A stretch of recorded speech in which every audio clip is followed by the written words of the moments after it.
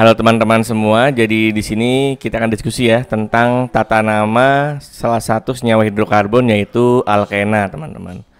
Nah, alkena itu adalah senyawa hidrokarbon yang mempunyai ikatan rangkap dua ya, seperti ini.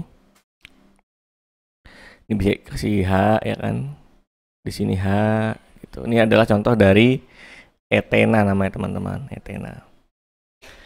Nah, untuk aturan IUPAC-nya, penamaan alkena ini salah ya. Ini alkena yang pertama itu kita cari dulu rantai karbon terpanjang yang memiliki ikatan rangkap dua sebagai rantai utama. Nah, contohnya di sini rantai terpanjang adalah yang ini, teman-teman nih. Dari sini sampai dari sini sampai sini, teman-teman. Nah, nah ini berarti namanya adalah 1 2 3 4 5 pentena namanya ya. Karena dia ada 5 ya, pentena. Jadi bedanya sama alkana kalau alkana itu pakai abjad A, kalau misalnya alkena itu diganti dengan abjad E, teman-teman ya. Pentena dan dia mempunyai satu cabang di sini, cabangnya etil. Itu. Dan ada di nomor 2 ya. Jadi penomorannya itu dihitung dari yang paling dekat dengan cabang. Ya kan ini nomor 1, nomor 2, 3, 4, 5. Jadi namanya adalah 2 etil 1 pentena, teman-teman. Gitu bukan yang ini ya cabangnya ya. Tapi yang ke arah sana gitu. Walaupun walaupun yang ini lebih panjang sebenarnya. Tapi kan kita kan fokusnya ke yang ada ikatan rangkapnya gitu. Nah, terus yang kedua, nomori rantai terpanjang mulai dari ujung yang terdekat dengan ikatan rangkap. Nah, kalau yang sini berarti nomornya itu dari yang paling dekat dengan ikatan rangkap berarti dari sini teman-teman. Dari kiri ke kanan ya. Nomor satu nomor dua nomor tiga nomor empat nomor lima nomor enam. Bukan dari kanan ke kiri. Karena yang paling dekat dengan ikatan rangkap adalah yang C yang ini gitu. Nah untuk yang ini berarti dari yang sini. Dari yang kiri satu dua tiga empat lima enam. Nah kenapa bukan dari yang kanan? Karena di sini ada cabang ya teman-teman ya. Di mana ada cabang yang paling dekat dan yang kedua dengan juga dekat dengan ikatan rangkap nah itu yang paling kecil nomornya seperti itu Terus yang ketiga, untuk ikatan rangkap yang lebih dari satu dibeli awalan di tri dan seterusnya. Nah, di sini kita tahu namanya adalah dua heksena ya, karena ikatan rangkapnya ada di nomor C nomor 2 ya kan. Yang ini adalah namanya adalah 2 metil 3 heksena karena dia punya satu cabang, cabang metil ada di nomor 2 dan ikatan rangkapnya ada di nomor 3 ya kan. Jadi namanya adalah 2 metil 3 heksena. Nah, yang ini namanya adalah 2 etil, cabang adalah cabang etil di nomor 2 dan ikatan rangkapnya ada di nomor 1 ya kan. Jadi 2 etil, 1 pentena. Nah, yang ini dia punya cabang metil di nomor 2 dan ikatan rangkapnya ada di nomor 1 dan nomor 3. Jadi namanya adalah 2 metil 1,3 buta di ya ingat ya, ada awalan di ena. 2 metil 1,3 buta di ena. Seperti itu, teman-teman. Nah, coba sekarang kita berikan masing-masing nama ini ya. Nah, ini berarti namanya adalah kita tentukan dulu rantai utamanya. Rantai utama berarti yang ini teman-teman nih. Yang ini ya kan. Satu, dua, tiga, empat, lima ya. Berarti namanya adalah yang A. Akhirnya adalah pentena teman-teman. Pentena. Terus dia punya cabang 1 2 3 eh 1 2 sorry, 1 2. Dan nomornya itu diawali dari yang paling dekat dengan eh ikatan rangkap berarti yang ini ya. Berarti namanya adalah 3,3 dimetil ya kan? Ikatan rangkap nomor 1 ya, 1 pentena gitu. Nah, yang B sekarang. Dia ikatan rangkapnya adalah yang ini rantai utamanya nih, kelihatan Terus cabang adalah cabang metil ya. Berarti nomornya dari yang ini kan. 1, 2, 3, 4, 5, 6. Nah cabang dulu ditulis. Dia nomor 3 berarti 3 metil. Terus eh, ikatan rangkapnya ada nomor 3 juga ya. 3 metil, 3. Kalau 6 berarti heksena teman-teman. Terus yang C lanjut Ikatan rangkapnya berarti yang ini ya, teman-teman yang jelas ya.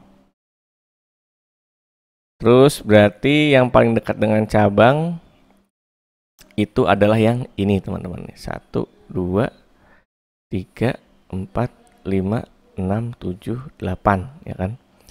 Berarti eh, apa namanya cabangan dulu ditulis cabang metil ada dua berarti 4,7 ya 4,7 di metil terus kata lengkapnya ada di nomor 2 dan nomor 5 ya. 2,5 8 itu oktena teman-teman. Okta. Kan ada dua ya kata lengkapnya ya. Di ena. Nah ini namanya. Lanjut lagi ke yang D. Ini berarti dari sini ya. Terus nomor itu dari yang kiri ya kan. 1 2 3 4 5 6 7 8 cabangan adalah cabang ini adalah ini namanya sekbutil teman-teman nih. Sekbutil sekbutil nah berarti dia nomor 3 ya. 3 sek butil. Terus ikatan apa? Di nomor 4 4 oktena ya. Nah ini namanya masing-masing seperti ini.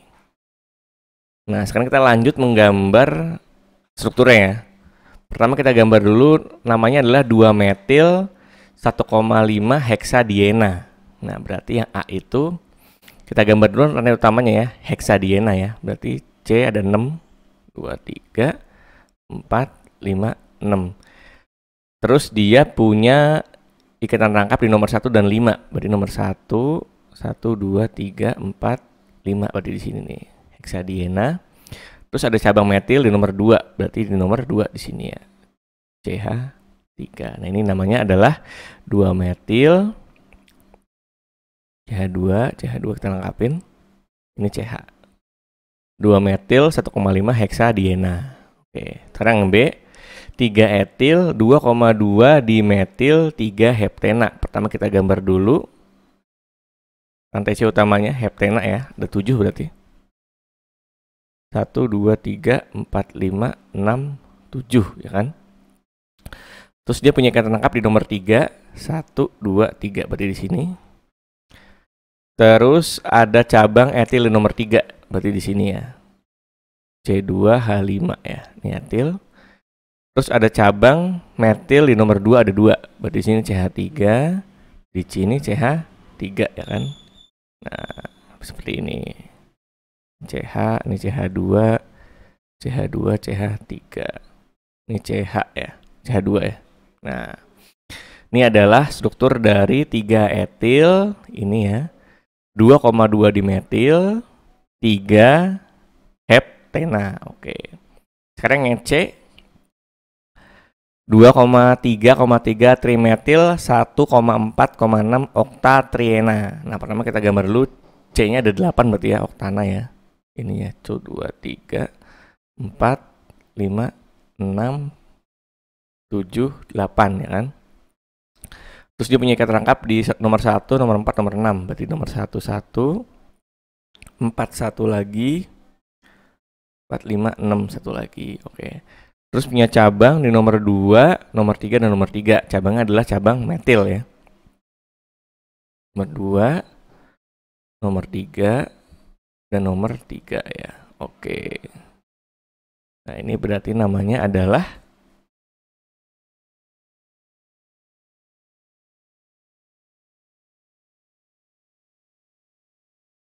2,3,3 trimetil 1,4,6 oktatriena. Oke, yang C. Terus yang D, kita mau gambar struktur 3,4 di isopropil eh, 2,5 di metil 3 heksena, ya kan? Pertama kita gambar dulu rantai utamanya heksena ya, C6 berarti 1 2 3 4 5 6 ya kan. Terus dia punya ikatan tangkap di nomor 3. Dan dia punya apa namanya nih? Cabang di nomor 3 sama 4 berupa isopropil ya. Di isopropil berarti nomor 3 1. Isopropil seperti ini teman-teman ya. Cabangnya ya.